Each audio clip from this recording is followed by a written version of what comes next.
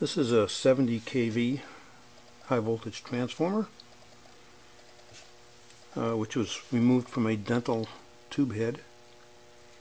Uh, the transformer has two secondaries, 35 kilovolts each. Uh, one side feeds the anode of the X-ray tube and the other side feeds the cathode.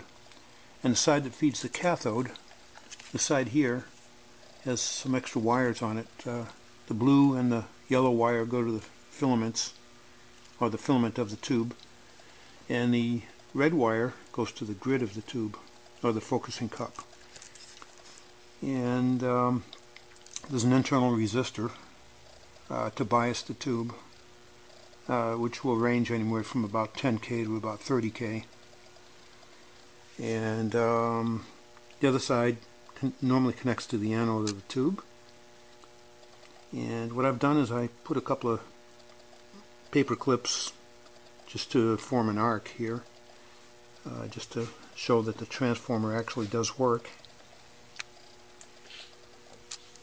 I'm going to power this with a Variac. It's a 0 to 120 volt Variac. But I'm not going to let the input voltage get over about 30, 30 to 40 volts input. Because normally this transformer is supposed to be operated immersed in oil.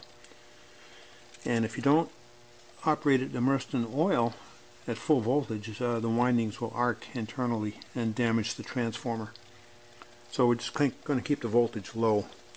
And here I'm going to switch the variac on and then slowly crank up the voltage until we get some arcing.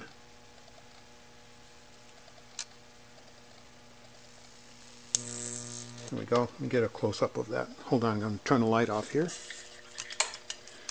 Okay. Get a better shot. Okay, here we go. Slowly crank up the voltage till it starts to arc. There we go. It's a pretty hot arc.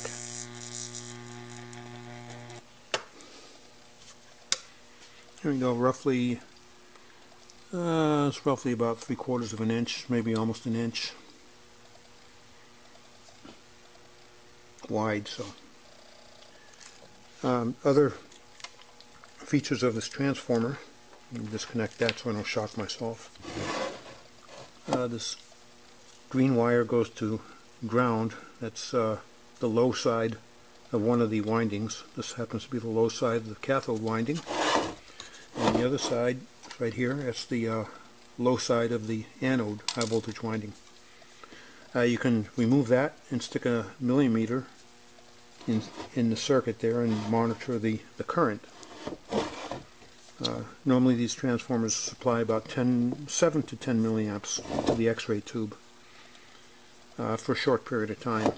If you run it much higher than that for a long period of time, you're likely going to burn it out.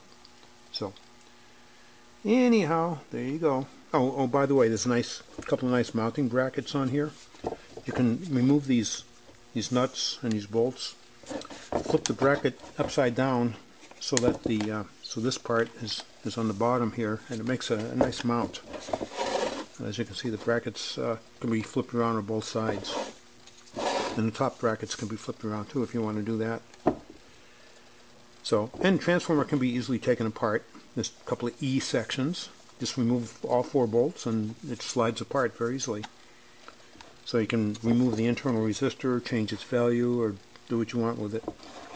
So, very nice transformer. Bye.